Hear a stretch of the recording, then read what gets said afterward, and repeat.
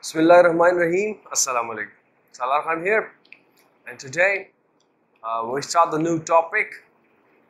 Uh, the next one in order is what? It's logic gates. Logic gates. That's our new topic of today, alright? And you know what logic gates are basically. We have seen the basic operations, the AND, the OR, and the NOT operation previously in the Boolean algebra, but today we discuss them in in case of uh, in their gate properties. All right. So let me write the definition of of, of, of a logic gate. So I could write it as it is a physical device which performs logic operations on one or more logical inputs to produce a single logical output. Now this could be a very basic definition of a logic gate, alright? We have to focus. We have to focus and you focus, so, so, so when you focus, you find some basic things in this definition. The very first is that a logic gate is a physical device.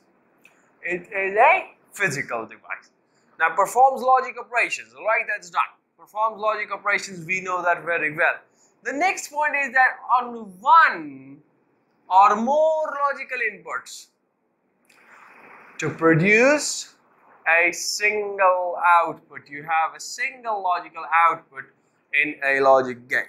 You can have, okay, so, so have a look.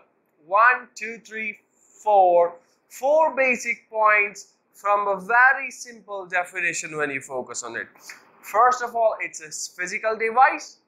The next is it performs logic operations, of course. The next, you can have one input, more than one input. You can have two, you can have three, four, so on. Uh, but, but the output is only one. And that output will be either a zero, which means a low state, or zero volt state, or the output would be a 1 which is a high state or a 5 volt state. Alright okay. Now uh, what are these logic operations? So these logic operations may include the AND operation the OR means the inversion. So we'll see that with the passage of time. But first we see that the, the logic gates are basically divided into a group of three categories alright uh, three basic uh, groups or categories. So if I say the first group are the basic gates, the basic gates, so that wouldn't be wrong. In the basic gates, we have the simpler gates, and the most simple you could say is the NOT gate. We have the AND gate in this uh, category as well, and the OR also and we've seen this from the uh, we've seen this previously in the in the in the rules of Boolean algebra but today we'll just give them a brief review all right? Now the second that fall is the universal gate. Universal gates. And there are two gates two gates in this category that are the NAND and the NOR gate all right and we'll see why they are called universal gates. They're called because we can implement any digital circuitry or any digital system with the help of only a NAND or only a NOR gate, which means it can act as an OR gate as well, as an AND gate as well, and as an OR gate as well. The third is the arithmetic category, which uh, uh, we could say the arithmetic gates.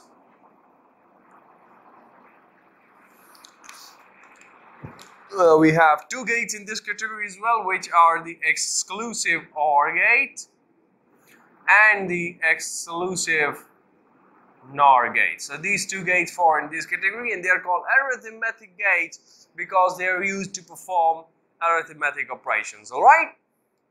Okay. So we start with what? With the NAND, with the with the NOT gate. All right. We we start with the NOT gate, the simplest one. Okay. So I'll I'll, I'll write over here the NOT gate. And what is this NOT gate basically? It is a single input gate. It, it, it has one input and it and it gives uh, from the definition it has all the gates have one output. So it has one input and of course it will have a one output all right and what does this gate do this complements the input complements the input all right which means if the output is 0, the input is 0, so the output would be 1, and if the output is 1, so the input would be 0, alright. Now, now what is the symbol of this NOT gate? So the symbol is like this. It could be a, a, a triangle, you could call it a triangle, and a, and a bubble is placed. All right? Okay. So now if the uh, uh, if the input is let's say a and the output is given through a function y so this y would be what this y would be complement of a all right now let's see we, we, we draw the truth table for it the truth table is what it's a table con containing outputs for each and every combination of inputs you know that but let's say I write down the definition of a, uh, or, uh, or I write it over here, truth table. So what is a truth table? It is a table containing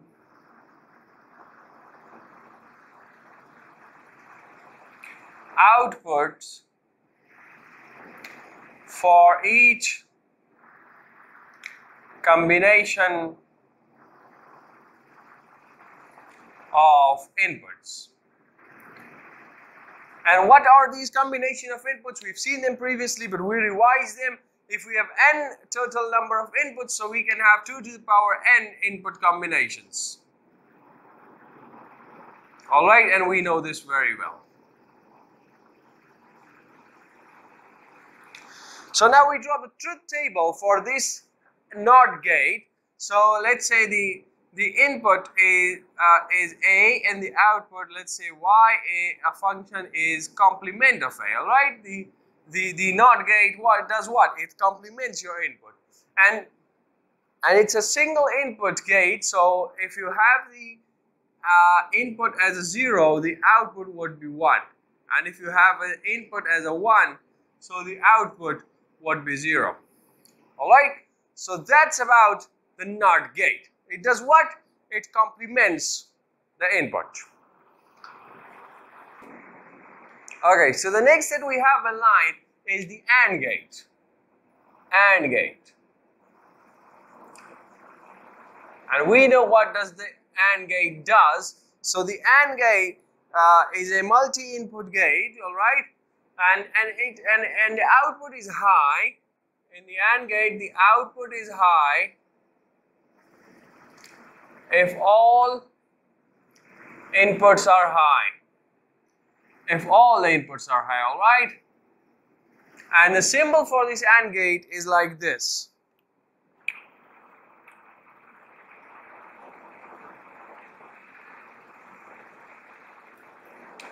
Okay, well, let's say I talk about two inputs. So if the inputs are A, B, and a function Y. So this y would be what? The mathematical formula is a and it would be this dot represents the and operation. Alright? Now we have the truth table for it. Let's say for the two inputs we have a, b and the output is y which is a and it with b. So the input combinations could be 0, 0, 0, 1, 1, 0 and 1, 1. Now in this case, the output will only be high if both the inputs are high, which means this would be high and the rest of them are zero. All right? Yes. And now we have some basic properties which we've already seen before, but we, we revise it over here.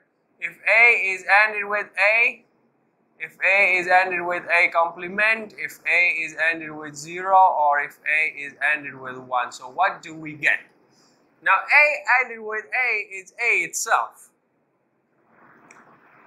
A ANDed with 1 is A itself. A ANDed with 0 is a 0. Yes. And A ANDed with a complement is also 0. Alright? Alright. Now we, we, we, see that this AND gate follows the, uh, we check, we check if this follows the commutative law or it does not. Commutative. So what's the commutative law? The commutative law we can say A ANDed with B is equal to B ANDed with A. So let's say A is equal to 0 and B is equal to 1. So 0 ANDed with 1 is a 0. 0 ANDed with 1. And in the right hand side we, oh sorry. Let me write over here. 0 ANDed with 1 and in the right hand side we have a 1 ANDed with 0. So 0 ANDed with 1 from the truth table is 0 and a 1 ANDed with 0 from the truth table is a 0 which means the AND gate satisfies the commutative law. All right. Now, if we have, uh, if we check for the associative law,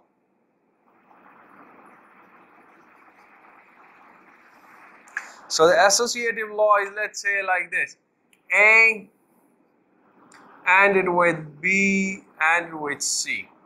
All right, which is equal to A ANDed with B first, and the whole ANDed with C. So now let's say we take inputs A is equal to 0, B is equal to 1, and C is equal to 0. Alright, so now A is 0, so 0 is ANDed with what? With B ANDed with C, 1 ANDed with 0. And the right hand side is what first ANDed with B. So 0 ANDed with 1 first, and then it's ANDed with 0. So first we solve the brackets, so which means 0 ANDed with, 1 ANDed with 0 is a 0 and then you have the right hand side to 0 ANDed with a 1 is a 0 and the 0 comes. So 0 ANDed with 0 is again 0 and to the right hand side again so which means left is equal to right and the AND gate also satisfies what? The associative law. Alright? Alright, then the next the next gate that we have is what? It's the OR gate. It's the OR gate. And what the OR gate does, in the OR gate, the output is high if any one or all the inputs are high. In this case, the output is high if any one or all inputs are high. Alright? And the symbol for this, the symbol is like this a little curved while I'm just a little weak in drawing these symbols so you should confirm it from your book. I draw it correctly but I don't draw it properly. Alright, so this. This is also a multi-input gate, alright? As the AND gate, the OR gate is also what? It's a multi input gate. So we discuss a, a two inputs. So let's say this is A, the second is B, and the function is given y, which is equal to A or with B. This plus shows the OR operation. All right. Now, if we draw the truth table for it, so A, B, and Y, which is A or with B. So we have two inputs, which means to the power 2, we have four uh, input combinations. And we've explained already how to do that. 0, 0, 0, 1, 1, 0, and 1, 1. So in this case, the output is high if any one. So any one, So this is high. Anyone, this is high. Or all the inputs are high. So these two are high as well. So this is 1. And this is, nothing is high, so we have a 0 in this case. Now that's the truth table for the OR gate. Alright. Now again some basic properties that we, we, we've already seen before. We've already seen before, but let's say we discuss. So A OR with A, A OR with A complement, A OR with 1, A OR with 0. Alright. Now A OR with A is again A. A OR with A complement is 1. A OR with 1 is 1. And A OR with 0 is again A.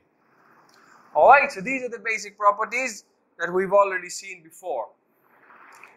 Now we check if, if this OR gate also follows the uh, commutative and associative laws or not. Commutative law we see first. So the commutative we have A uh, OR with B is equal to B OR with A. So let's say this A is a 1, B is a 0. So first to the left hand side we have a 1 OR with a 0 and then to the right we have 0 OR with a 1. So 1 OR with 0 is a 1 from the truth table and 0 OR with a 1 is also a 1 so which means this OR gate satisfies the commutative law. Alright, now we see the associative law. We check if it satisfies. So we have it like this, A OR with first B or C and we have A or B whole OR with C. So now let's say we have A is equal to 0, B is equal to 1 and C is equal to 0. So have a look. 0 OR with 1 OR 0 equals to the right side we have uh, 0 OR 1 whole OR with 0. So now have a look. 1 OR with 0 is what? It's 1. So we have 0 OR 1. And 0 OR 1 we have 1 OR 0. Now this is again a commutative law which is, has been satisfied and we check from the truth table 0 OR with 1 is a 1, 1 OR with 0 is a 1 which mean 1 is equal to 1 and the left hand side equals right hand side again and the associative law is also satisfied by the OR gate. Alright? And I believe we finish the lecture over here and we continue uh, the next logic gates in the next lecture. Till then, take care of yourselves and everyone around you. Goodbye.